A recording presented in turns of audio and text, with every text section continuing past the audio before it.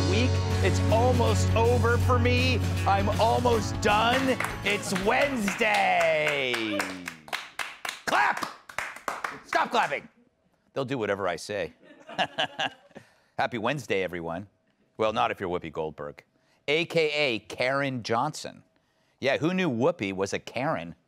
I thought that was only for white people, like Toyota Priuses and skiing. Roll it, Francis. Good morning and welcome to The View. Um, you all saw the news. Whoopi will be back here in two weeks.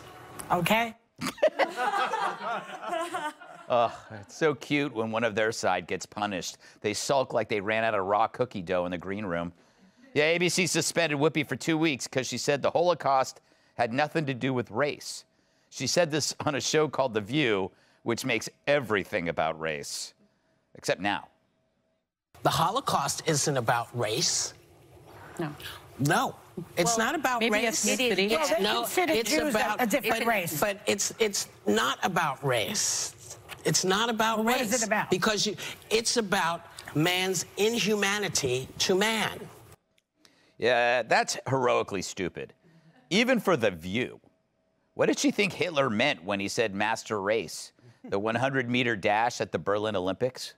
So, for the first time in The View's history, it's not about race. Just some whites exterminating six million other whites. So, what's the big deal? Her reasoning reminds me of the guy who looks at black on black crime and says, that's just them doing what they do. Of course, it's that if that callous person were me or you, we would be canceled faster than a Tinder date with Andrew Cuomo. But thanks to liberal privilege, Whoopi hangs on, which is fine since she apologized, but not before digging an even deeper hole than the one in her head. Here she is on Colbert, which is French for crushing bore. I I feel being black when we talk about race, it's a very different thing to me. Mm-hmm. So I said that I, I felt that the Holocaust wasn't about race. People were very angry and they said, no, no, we are a race. And I, I, I understand. I understand. I, I felt differently. This wasn't based on the skin. You couldn't tell who was Jewish. They, they had issues with ethnicity not with race because most of the Nazis were white people and most of the people they were attacking were white people. So to me, I'm thinking, how can you how can you say it's about race if you are fighting each other? Hmm. We'll talk about putting Bengay on a sunburn. And I guess Colbert was too enthralled by Whoopi's logic to push back. He gave about as much resistance as Brian Stelter at the Cheesecake Factory. So, what to do next? Well, you go on The View again and read the prepared boilerplate apology straight off the prompter and barely pretend you believe it yourself. It is indeed about race because Hitler and the Nazis considered Jews to be an inferior race. Now, words matter, and mine are no exception. I regret my comments, as I said, and I stand corrected. I also stand with the Jewish people. That's a flip. So, even though Whoopi would never defend me, I'm here to defend her. First, anyone going for deep political or histor- historical analysis from The View, they deserve what they get. That's like watching The Real Housewives of Atlanta to learn more about the Civil War. Calling The View a lively show of opinion is like saying Jeffrey Dahmer was on the keto diet. But this is a country of free speech, and that includes The View. Remember, free speech is about the worst kind of speech, not the best. And The View is without fail the worst. It's the show that makes Gloria Steinem think, hmm, maybe women should have stayed in the kitchen. They make the gibbering homeless on your street corner sound like the First Continental Congress. Of course, the media is way more offended by Joe Rogan's thoughts on COVID than this rewriting of the Holocaust.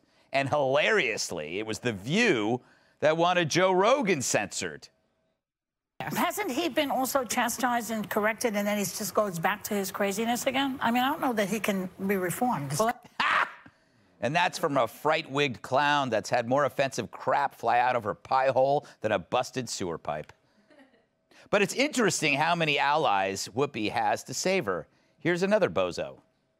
Everyone knows Whoopi Goldberg. She's been on TV for decades. If you don't know her heart, then you haven't been watching. This cancel culture is getting so out of hand. Oh, now it's out of hand. You shut up. You only care because you know her. For once, try defending someone you don't like or agree with, which is what we do. And what I'm doing with Whoopi, I don't know her, I don't agree with her, but I'll defend her even if she won't ever defend me. But Whoopi actually did a great service because what she said is exactly what critical theory is saying. Remember that stuff that the left denied was in classrooms, but was in as many schools as frozen pizza and TikTok users? And remember how few could actually explain it? Well, Whoopi did a bang up job articulating their premise, and it's that whites are incapable of being victims. They live to oppress, and therefore they cannot be victims even of each other. When the Nazis exterminated Jews, it was just white on white crime. Who cares? Especially if you're black. As researcher Christopher Rufo says, CRT points out that whiteness is already racist by its very color, which seems pretty racist. And it allows you to lump Jews in with the rest of the evil whites, like the Nazis, serial killers, and the cast of Seinfeld. And when, they're in, when you become inconvenient to their cause, blacks, Asians, and Hispanics become white too. Just ask Larry Elder or any black person who isn't to the left of Karl Marx, who, if I remember correctly, was white. But CRT is designed to place people in only two racial boxes, white versus black, where Jews, Asians, Latinos, and other lighter skinned non whites may find themselves shoehorned into the oppressor's box if they don't act right, and especially if they reject CRT. True, if you don't fall in line, then you're as bad as a Nazi, or worse, a white guy. Race, according to CRT, is only important to the color line between white and black, and everything else is irrelevant. And that's how the Holocaust gets whitewashed. So Goldberg, a Jewish name she appropriated, said on TV what CRT experts have been expounding for years that in the hierarchy of oppression, whiteness sits alone at the top, like the fats and sugars at the top of the food chart. And you can never judge success, struggle, or failure any other way. And to maintain that hierarchy, you equate Nazis with Jews under the umbrella of whiteness. Now, really, I don't think Whoopi meant all of that. But given that she's a Goldberg, you know, she should have known better. Let's welcome tonight's guest. She's killed more deer than Interstate 80. Townhall.com editor and Fox News contributor Katie Pavlich. It took him just over 10 years to conquer the comedy scene in Alaska. Now he's set his sights on New York. Actor, writer, comedian Jamie Lissow. She's burned more bridges than an arsonist with an E-ZPass. Fox News contributor Two. And he once stubbed his toe on a pyramid. My massive sidekick and the NWA's world television champion, Tyrus. Clever. Clever. So, Tyrus, I go to you first for no. Gee, I wonder why. Hmm. You and I shall never part. No, no, okay. Uh, I love color purple. Yes. You know, Greg, I, I agree with you by 85%. Right. Brilliant as always. I'll take that. Two things that were on The View. Mm-hmm. One, you cannot have conversations with people you're not comfortable with. Right. And what we saw on that show was Whoopi was going down, her own personal beliefs were coming out, Mm-hmm. and her peers said she's hanging herself. Let's enjoy the fire. Really? You think that? Behar said, ask her a question again to get her to repeat it. Mm-hmm. Then you saw when your friend has been suspended, she's gone, okay? Where Whoopi was coming from, I understand. Whoopi is coming from an, the older, the older African American perspective on racism, which American has, um, when America has dumbed down race to one thing, either you're black or you're white, which is demeaning to black people because they don't care if you're Jamaican or you're African or you're from Australia. You don't get that. Right. You don't get that identity. You're just black. Mm-hmm. So the way she was describing it was she was trying to, from the American, African American perspective, is that you're white, so you get a pass. But where she's wrong is the Jews are the one group because of their religious beliefs that they're still separated and they get it from both sides. And there's also this resentment, especially in the 60s, 70s, and 80s. So when she was giving her perspective, she was wrong because she didn't think about, and she said it, ethnicity. Yeah. Because the the racism in the world is far more direct. It's about DNA, it's bloodline. That's way of Scotland, Ireland, mm-hmm. Britain. It's not Whiteland. Yeah. You know, they're all different and they have horrible names for each other. Right. And they know the difference between this and that. And you know what I'm saying? And, and African Americans would always relate to that. But she's been around the world enough to where she should have known better. Mm-hmm. But when you work for a show, and this is a reliable source, remember, Bodyguard for Life, Yeah. that during the breaks, they all go to the green room. They don't speak to each other. Right. They're not friends. Crabs in a bucket. And the one thing we know about the other side, what, what crabs in a bucket. One tries to crawl out, get your ass back in here. You've been with us.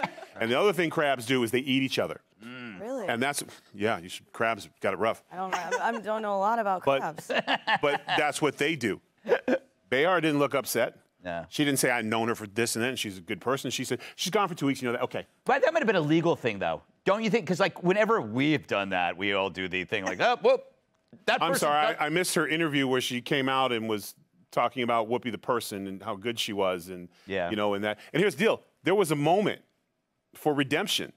She could have said, "Whoopi, you're missing the point. Yeah. It's about ethnicity. I understand your struggles, but here's this." But they didn't do that. They were like, "Ooh, watch her Yeah. burn." They, they that- did. That's what you do on TV, though, Jamie. You're white. and you're in the whitest state in the world, Alaska. Uh, did this story reach Alaska? So I'm going to be honest with you, Greg. I would like to never hear from Whoopi again, and I think The View hmm. should be canceled. Oh, I just wanted to get that off my chest. Um, Do you have what, a lot did, of? what did you ask me? That was unrelated to what we're talking I want to hear any of your latest view jokes. So I, I did look up. I knew Whoopi Goldberg had to be a fake name. Yes. Isn't it funny when you hear like a serious story and they're like, then Whoopi said? You're like, they should use her real name. This sounds insane. Do you know how? Do you know how? That's how you figure out your view name. You know that thing was going around. It was like to get your porn star name. Yeah. You take like the name of your first pet, and then like the road, the street you grew up on. Yes, Which yes. they- mine doesn't even make sense. I grew up on Toole Avenue, and I had a cat named Gigantic. It doesn't even make any sense. Um, but your view name is your favorite childhood prank followed by your favorite Jewish name. So I would be like Han Buzzer Horowitz. and Whoopi. But this, this was this was to be serious. This was crazy to me because the the Colbert thing was where she doubles down, Yeah, right. and you get to see the truth, which is fine. But then it was almost like sad to see like the coerced apology. Mm-hmm. Right. Like what what what is the point? Why even bother? And it's not cancel culture. It's take two weeks off and come back culture. Yes, they, well, see, they get the take off two weeks culture. We get the cancel culture because Joy Behar. If any of us did anything like that, they, they, they, all of them would come after us, especially Tyrus, I would assume, but also you because you know you like guns. Well, of course, obviously. I'm surprised I'm even on the show because Yes. you, have- you know, have to be very careful if you come on the show, Greg. Your career could be in Yes. great jeopardy. Yes. Uh, no, you're right. I mean, Yeah. we can forgive her, right? She did apologize. The suspension after the apology maybe was too much, but this forgiveness and move on and learn and grow and this kind of behavior doesn't work one way. Yeah. So if we're going to engage in that, the left has to do it too. And the left has been waging a war on anybody who strays from any kind of line of what they believe in and have destroyed people's careers, their lives. They don't care if you're homeless out on the street. That's their goal, actually. And it, I, this incident, I think, proves how shallow the conversation on The View has become. The book they were talking about on the Holocaust, if she would have read the first page, it's a quote by Hitler that says, The Jews are undoubtedly a race, but they are not human right. page one. So she Yes. could have prevented all of this by just doing a little bit of studying, but it's all about her worldview and the critical race theory thing. Yeah. Critical race, race theory and this idea of seeing everything through this new prism of intersectionality on the left leads to a gross distortion of history, whether it's the Holocaust or the foundation of the country. Mm. It forces you to kind of push your own ideology into history without context or the facts, and that's exactly what she tried to do. Final point there are black Jews. Yes, There there are are. Ethiopian Jews, so not all Jews are white. Uh, Mm-hmm. so you know, we're talking a lot about white Jews. Think that we should acknowledge that Sammy they're Davis not all Jr., white. rest his soul, would probably have something to say about that. Yeah, yeah, yeah. Here. Kat, Kat is not a black Jew. Really? No, but I want to ask you. I am sad because Whoopi is my favorite person on The View.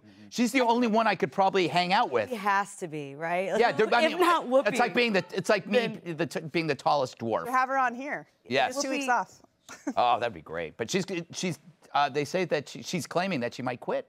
Yeah, look, there's a few things where, you know, like if you're on TV and you have to talk about it, you're like, well, gotta be really careful. Right. And like the Holocaust is definitely one of those things. Mm-hmm. So it's wild to me that someone would get out there and be like, Hitler, actually not a racist. Like that's that's wild. But again, everyone says dumb stuff in conversation. Not everyone converses on television Yes. about a bunch of random stuff every single day. So stuff like this is gonna happen, and I don't think she should have even been suspended. Not because she wasn't wrong, because she was wrong, but if she wouldn't have said that, she would have never known she was wrong or why she was wrong. And she apologized, so we should forgive because it's impossible to not say something stupid. We're doing it. We do a show every night, and I've, I've been doing this since Red Eye days. I mean, it's going to happen.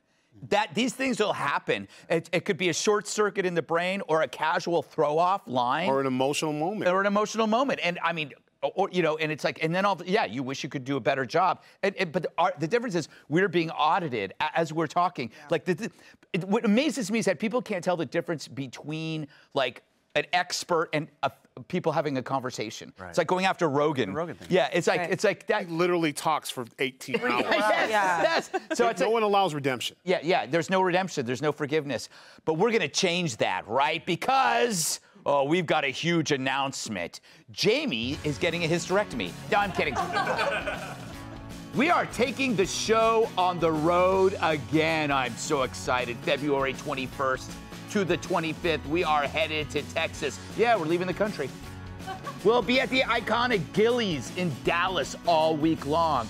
To get your free, free tickets, you go to foxnews.com slash Gutfeld and look for the link on the side of the page. And I don't mean sausage link. Hey, Sean Hannity here. Hey, click here to subscribe to Fox News YouTube page and catch our hottest interviews and most compelling analysis. You will not get it anywhere else.